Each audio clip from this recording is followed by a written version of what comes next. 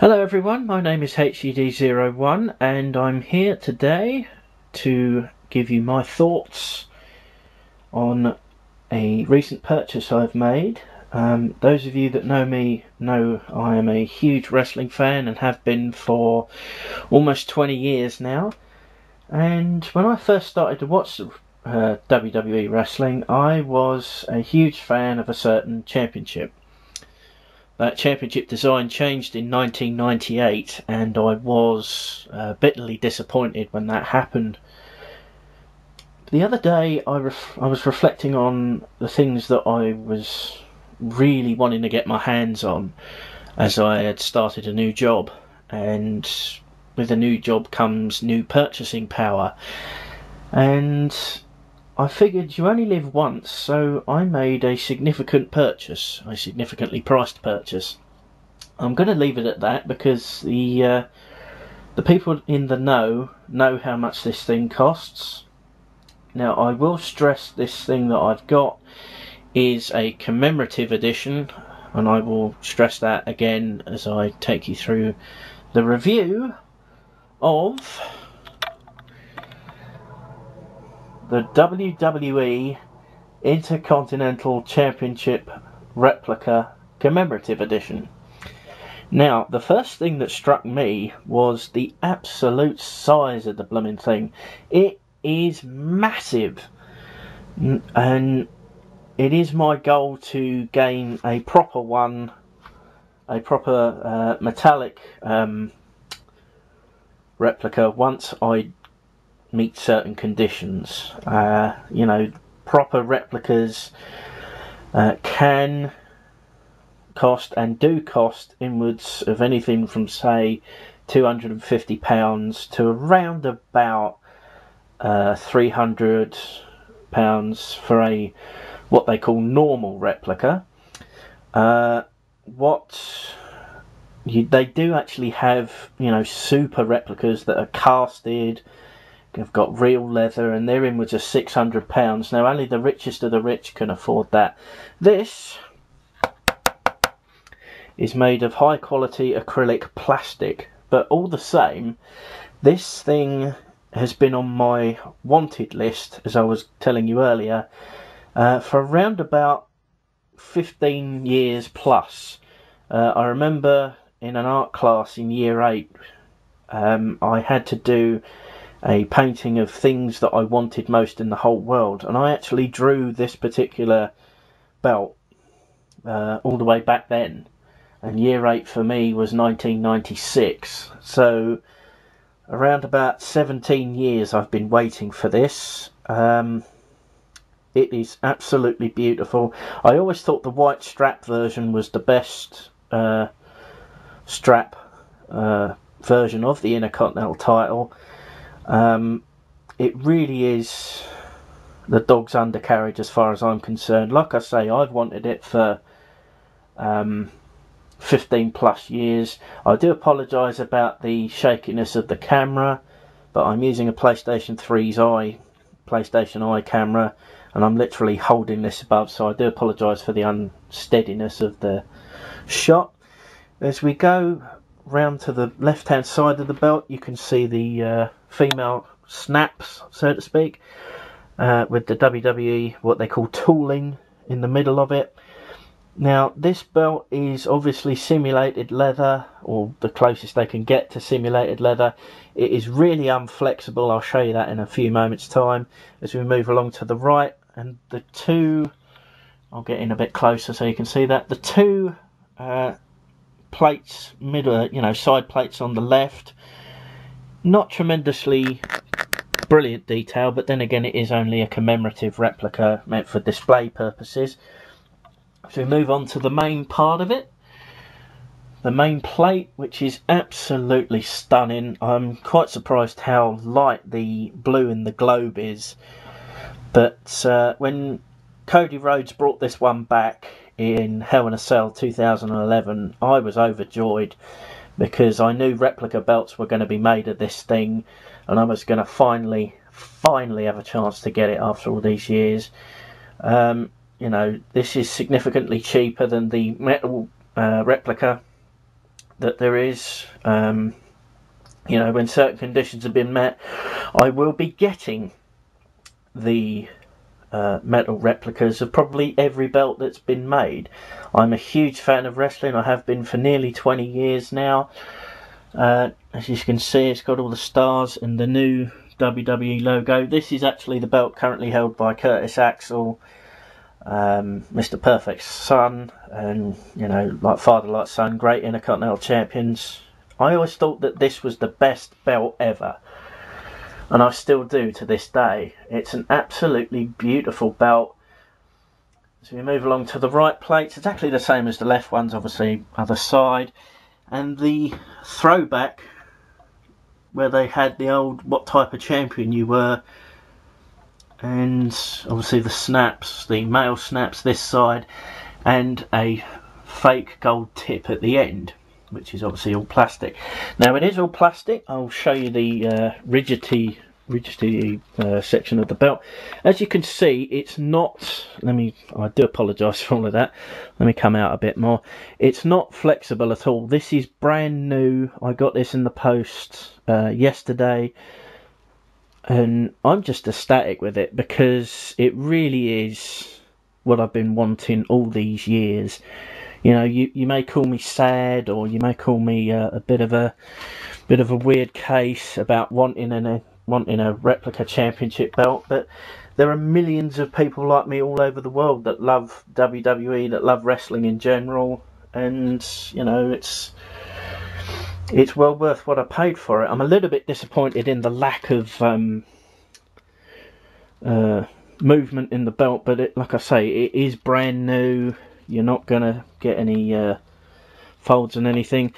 Now, I am of course aware of the uh, shaving foam trick. Um, I don't know if that applies also to, uh, you know, commemorative replicas.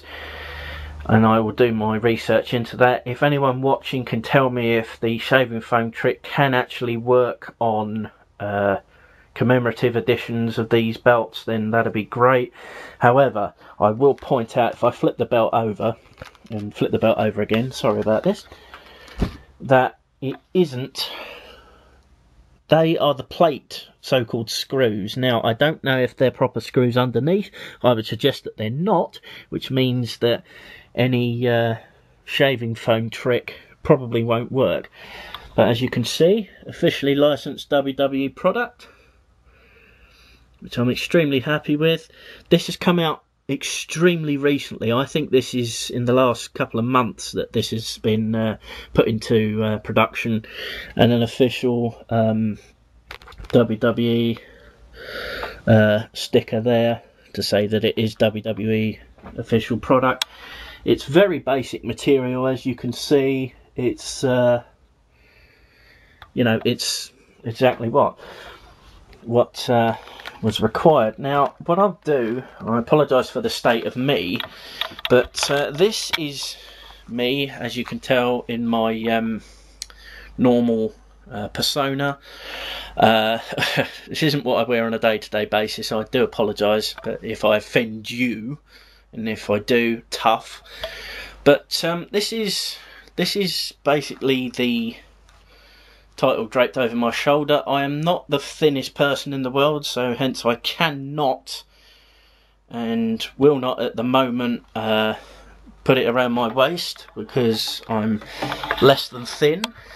I will show you the length of the darn thing. I was surprised at the at the whole size of it. This thing is huge.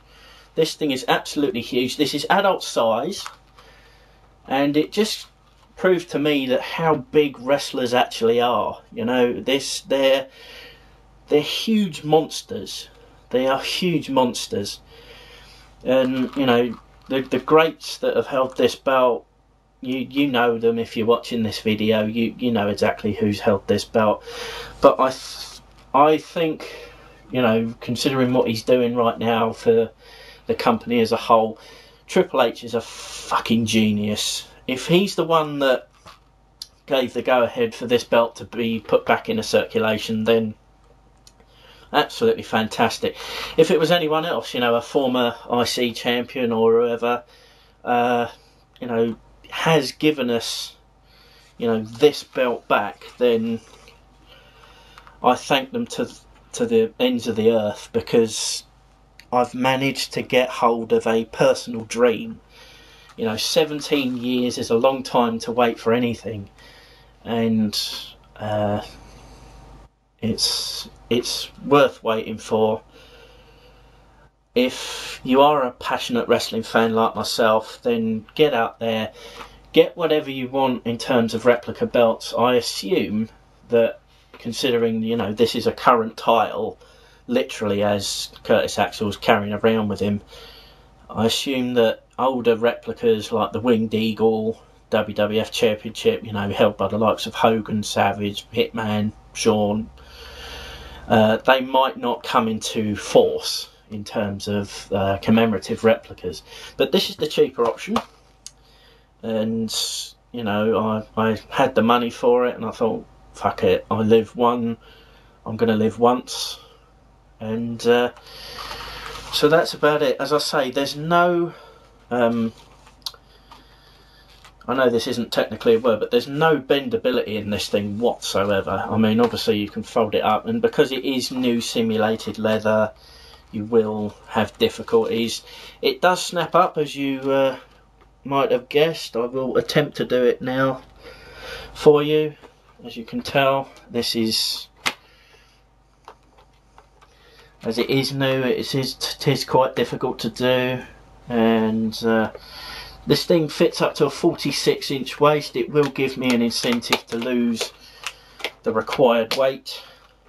As I say there's the thing uh, snapped up. And I, I, still think it's a beautiful bastard. It's you know I, I apologise for swearing if you're a, a parent watching this with a kid but when you've wanted something as long as me and as long as you've wanted you know this thing that I have you're gonna you're gonna use uh, inappropriate language. But that's about it. This that's my look for the uh, look through for the intercontinental uh, commemorative replica. You know I'm sure the um, rigidality if that's even a word again uh, will stop but I absolutely in love this it's absolutely beautiful. I always thought it was, and I always think it will be. So, leave any tips, uh, comments, and suggestions. I am planning on getting one more uh, commemorative belt, and that's the new WWE Championship that was uh, debuted this year by The Rock uh, just before WrestleMania this year.